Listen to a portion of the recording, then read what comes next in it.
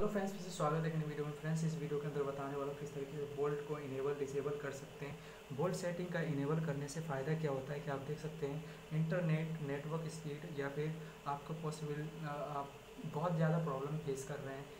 आपका calling voice अगर कोई प्रॉब्लम आ रही है मतलब कॉलिंग से रिलेटेड कोई भी प्रॉब्लम आ रही है तो डेफिनेटली आपको इसको इनेबल करके रखना चाहिए।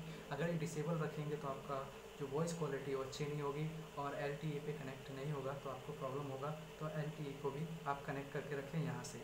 तो फ्रेंड्स इस वीडियो में यही सब बात करने वाला हूँ। इसका कैसे इनेबल कर सकते हैं, शुरू से मैं आपको बता देता हूँ ताकि आपको अच्छे से समझ में आ जाए। फ्रेंड्स आगे बढ़ने से पहले चैनल को पहली बार आए तो चैनल को लाइक शेयर एंड सब्सक्राइब करना मत भूलिएगा।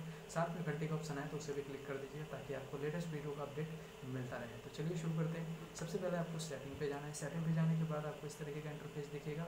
तो उसको आपको कनेक्शन पे क्लिक करना है। क्लिक करने के बाद आपको यहाँ पे बहुत सारे ऑप्शन दिखता है तो आपको यहाँ पे मोबाइल नेटवर्क पे क्लिक करना है। क्लिक करते ही आपको यहाँ पे तीन ऑप्शन आएगा। जैसे डाटा रोमिंग और ये गोल्ड वाला सिम वन सिम टू होगा। हो सकता है आपका कुछ भी लिखा है, लेकिन आपको इसको डेटा रोमिंग को इनेबल कर लेना है और साथ में इसको भी इनेबल कर लेना है। क्योंकि आप देख लीजिए इन सबसे इनेबल करने से कोई पैसे नहीं लगता, कोई चार्ज नहीं लगता तो आपको इनेबल कर लेना है और उससे आपको बेहतर एक्सपीरियंस मिलता है आपके फ़ोन के साथ। यानी इनकमिंग आउटगोइंग कॉल में और साथ ही साथ में इंटरनेट एक्सेस करने में आपको प्रॉब्लम नहीं होता है।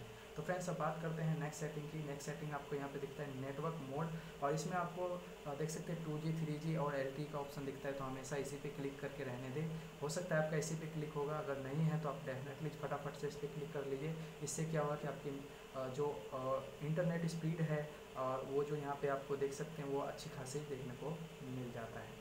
अब बात करते हैं नेक्स्ट सेटिंग की। नेक्स्ट सेटिंग आपको एक्सेस नेम पॉइंट मिलता है तो आपको इसको बिल्कुल भी नहीं छेड़ना है। अगर इंटरनेट आपका सही चल रहा है तो अगर इंटरनेट में आपको प्रॉब्लम हो रहा है नेटवर्क पे प्रॉब्लम आ रहा है तो आप एक चीज़ कर सकते हैं। आप सिंपली इसमें जा करके थ्री डॉट पे क्लिक करके रिसेट टू डिफ़ॉल्ट पे क्लिक करके आप अपनी प्रॉब्लम को फिक्स कर सकते हैं। रिसेट करने से क्या होता है कि आपका डेटा वगैरह कुछ उड़ता तो नहीं है फ़ोटोज़ वीडियोज़ वगैरह तो नहीं जाता है, लेकिन आपका जो नेटवर्क है, उसका जो केस मतलब जो प्रॉब्लम होती है, वो ऑटोमेटिकली फिक्स कर देता है, ठीक है? इसको रीसेट करने से एकदम रीसेट हो जाता है, बिल्कुल कंपनी जैसे आप नया फ़ोन लाते हैं, वैसा हो जाता है इसका नेटवर्क ठीक है फ्रेंड्स तो फ्रेंड्स वीडियो पसंद है तो लाइक शेयर एंड सब्सक्राइब करना मत भूलिए कोई भी सवाल हो, आप मुझे डेफिनेटली कमेंट कर सकते हैं। मैं आप लोगों का रिप्लाई ज़रूर करूँगा। मिलते नेक्स्ट वीडियो में एक नए टॉपिक के साथ। तब तक के लिए नमस्कार and goodbye take care